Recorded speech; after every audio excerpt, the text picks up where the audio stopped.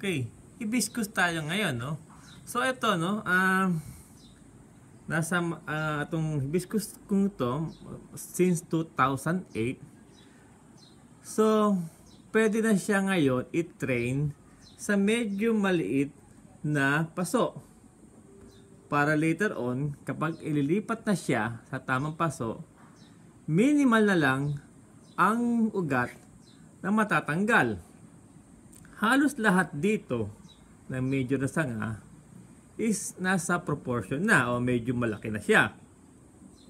Ngayon, may mga concerns ako dito sa punong to. No? Kung titignan nyo, no? ito siya, materialis pa lang na merong abang.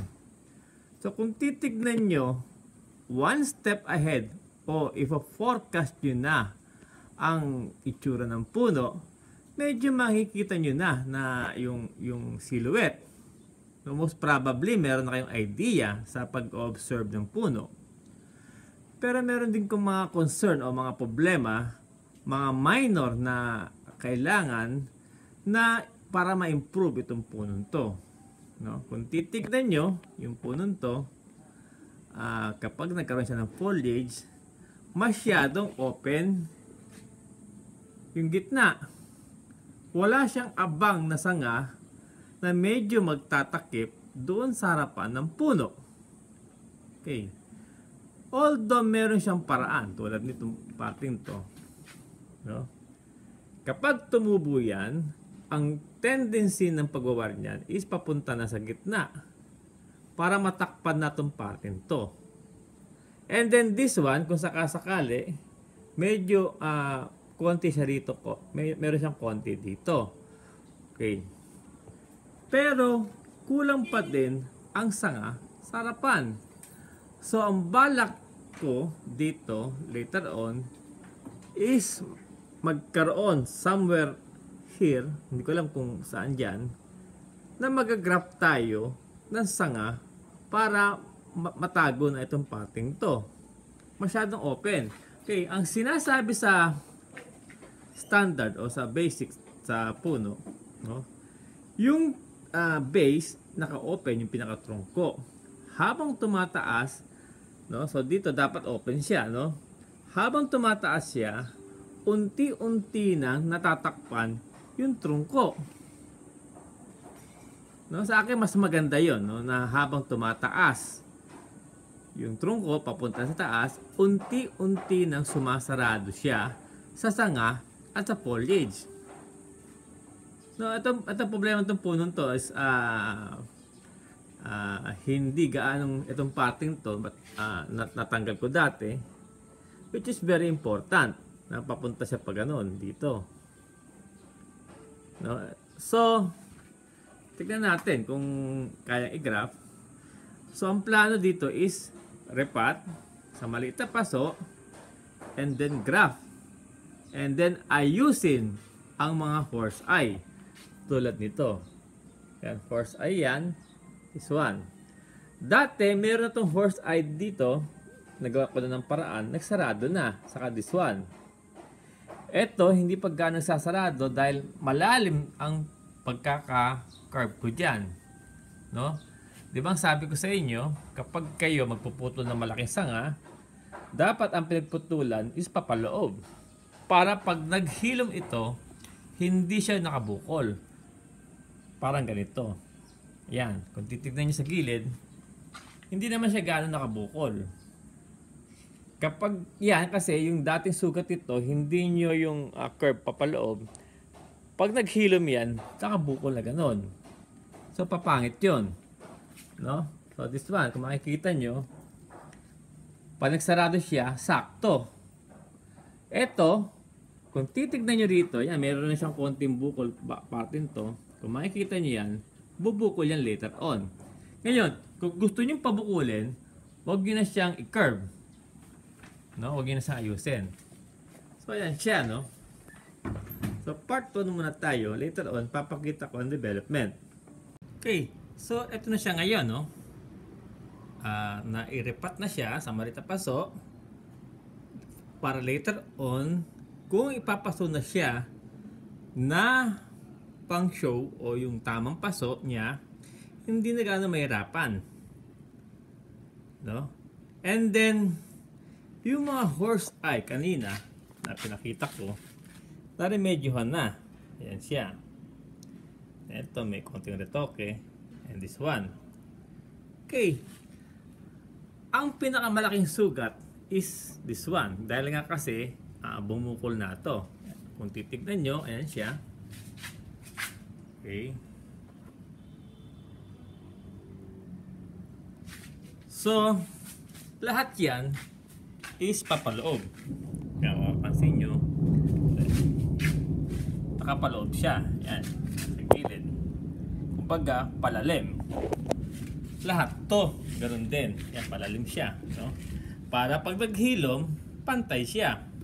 Okay, so ito, para lang siya may bukol. Pero actually, pag tinignan mo siya sa gilid, hindi naman siya nakabukol, pantay siya. Ito yung dating ginawa ko. Nag-mature na siya. No? Kasi kung hindi natin ah, pa- kung, kung kung hindi siya palalim, bubukol siya. No? Ito yung sarado na yung sugat, almost sarado na.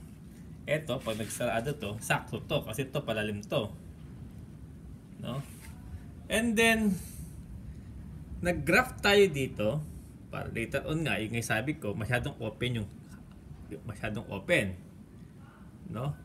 Ah, bad grafting ang ginamit ko dito. Bad grafting.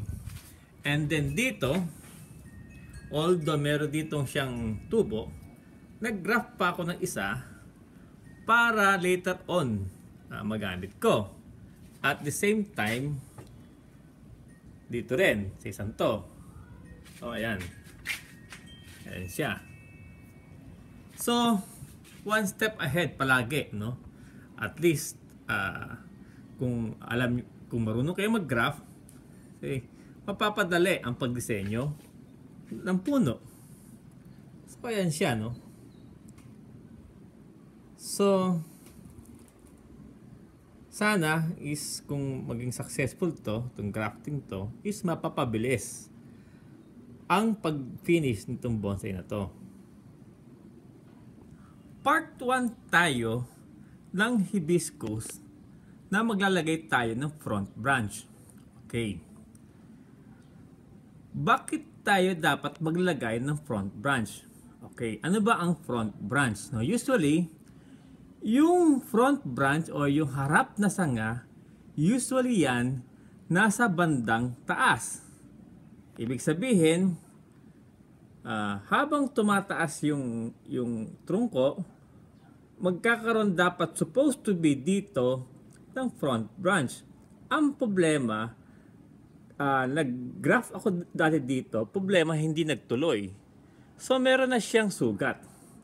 So ang remedyo is magbabarena tayo. No, ibig sabihin magbabarena tayo ng butas dito and then pababa. Okay, for example, no? Dito siya magbabarena o somewhere here pero ang angle is pababa. No? Sabihin true and true o ah tagos sa kabila yung butas. Ibig sabihin So dito siya lalabas. Parang pag ano, no? Ah, Parang pag ganon. True and true. Yon, okay? Para yung sanga is magkaroon siya dito. Okay, hindi naman maselan tong hibiscus, kakayanin ito. And then, papakita ko sa inyo later on kung paano siya ginawa. Okay. So, part 1 muna tayo. And then mamaya, papakita ko sa inyo sa part 2. Okay, no? Part 2 na tayo, no? Ito, nabarena ko na siya. And then, tagos siya ron. Tagos, no? Sabi sabihin, kapag naglagay tayo ng sanga sa likod, and then, ilulusot dito, pataas na yung sanga. No? So, ayan siya, no? So, mamaya papakita ko sa inyo kung paano yung finish na kalalabasan. Okay. So, ito na siya ngayon, no? So, nilagyan siya ng ah, tape, electrical tape, para maging ah, waterproof. No? Importante kasi yung tubig hindi papasok doon sa butas. So napaka-importante na hindi dapat siya mapapasok ng tubig para hindi siya mabulok. So, kung titignan niyo siya, okay, ikutin natin, no? So, ito yung pinagtaniman and then diretso siya doon sa sa puno, no? So, ito, ah, mag stay siya dyan, o dyan muna siya kapag dumikit na itong ah, nilagay natin. So, i-update ko kayo later o isang buwan o dalawang buwan kapag dumikit na siya. So, abangan na lang natin ang susunod kung ano mangyayari.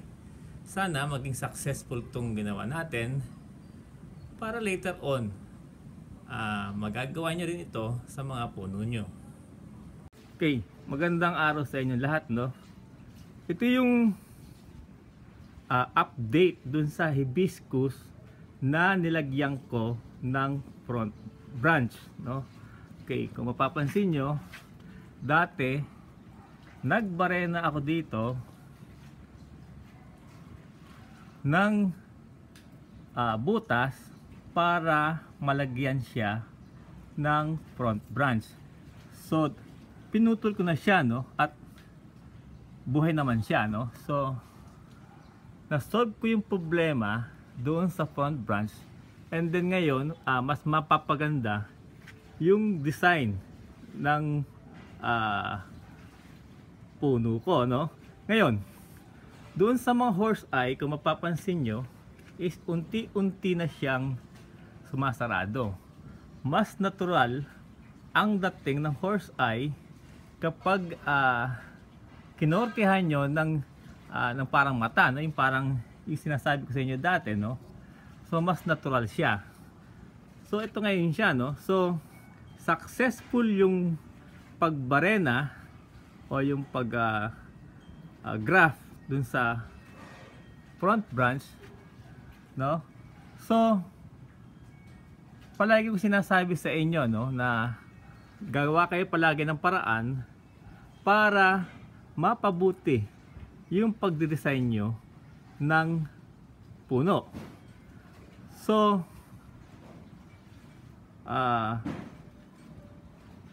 papalaguin na lang siya and then ah, masusunod na yung design sa puno dun sa hibiscus na gusto kong gawin. So sana makatulong.